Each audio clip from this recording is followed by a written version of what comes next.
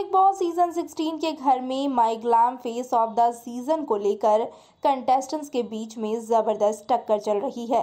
आखिरकार latest report के according कौन से कंटेस्टेंट कौन से कंटेस्टेंट को टक्कर देते हुए नज़र आ रहे हैं? क्या है ये पूरी खबर? चलिए बताते हैं आपको इस वीडियो में। नमस्कार, मैं सृष्टि, आप सबका स्वागत करती हूँ बॉलीवुड स्पाई में। वेल आपको बता दूँ कि जिस तरीके से कंटेस्टेंट्स एक दूसरे को टक्कर दे रहे हैं फेस ऑफ़ द सीज़न के लिए ये कहीं ना कहीं बहुत ही ज़्यादा शॉकिंग नज़र आ रहा है। और हमने जैसा कि लाइव फ़ीड में निमृत और टीना को बात करते हुए भी देखा है कि निमृत और टीना जो कि टॉप में बनी हुई होती थी, अब धीरे धीरे करके पीछे जाती जा रही हैं। और ऐसे में कहीं ना कहीं इन्हें टक्कर कोई और नहीं, बल्कि वो कंटेस्टेंट दे रही हैं जिसे सब लोग बहुत ही ज़्यादा लो समझते हैं। और ये कंटेस्टेंट कोई और नहीं, बल्कि सुम्बुल तौकीर खान है।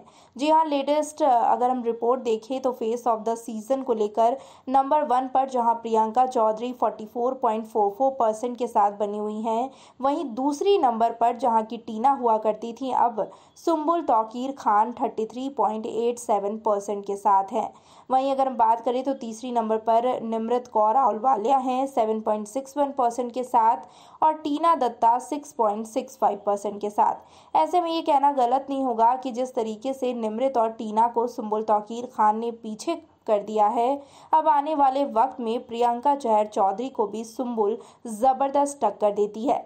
वह आखिरकार आपको क्या लगता है, क्या आने वाले वक्त में सुम्बुल तौकीर खान ओवरटेक करेंगी? प्रियंका चौधरी को कमेंट सेक्शन में अपने रिएक्शन ज़रूर शेयर करें।